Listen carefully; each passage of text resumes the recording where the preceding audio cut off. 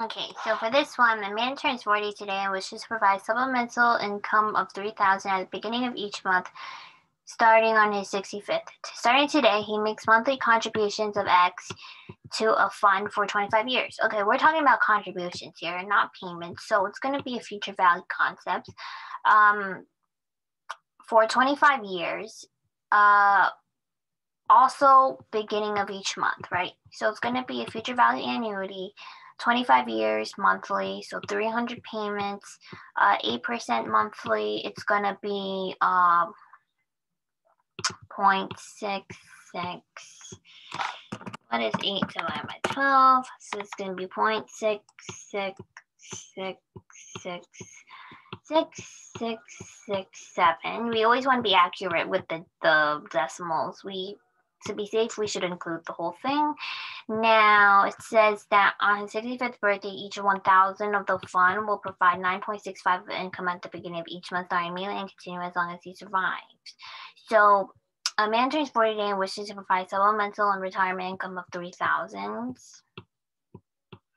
and each 1000 of the fund will provide 9.65 of income at the beginning of each month.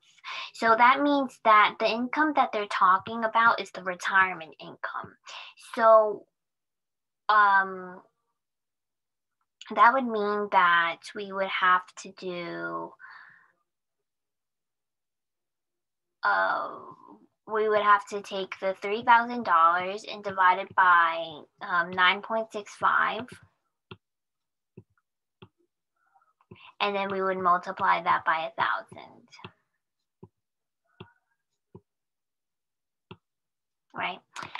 Uh, because 9.65 of income at the beginning of each month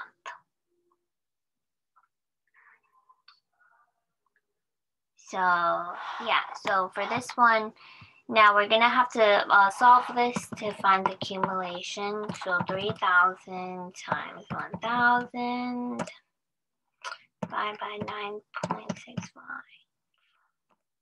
which is 310,880.829. Now we're going to solve for x, right? So we know that this is going to be, uh, this is annuity due. So let's convert it to an immediate by multiplying it by the effective. Uh, so this is just the same thing as this, but added one. Now we're going to solve for the future value.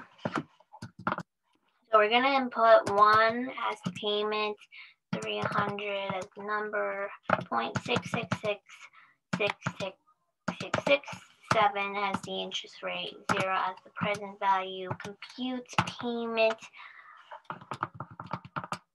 Oh no, uh, compute future value. So it's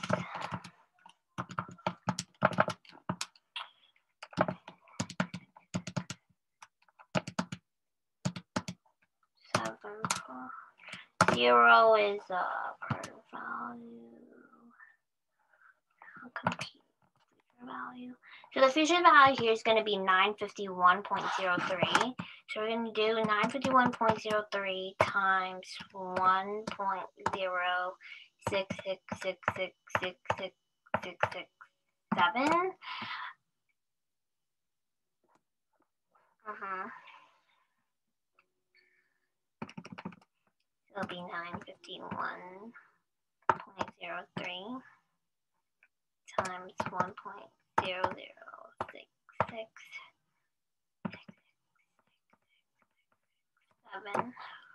which is going to be 957.37. Now we're going to solve for x. So we're going to do 310.0.829 divided by and we're going to end up getting 324.72 as the final answer, which is close to A.